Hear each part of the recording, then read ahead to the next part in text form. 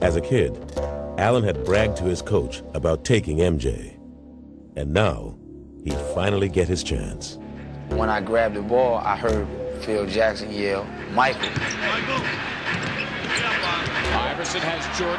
The crowd is into it. And I gave him a little cross to see would he bite on it. I let him set his feet, and then I stepped it back again. Allen shakes free, gets two.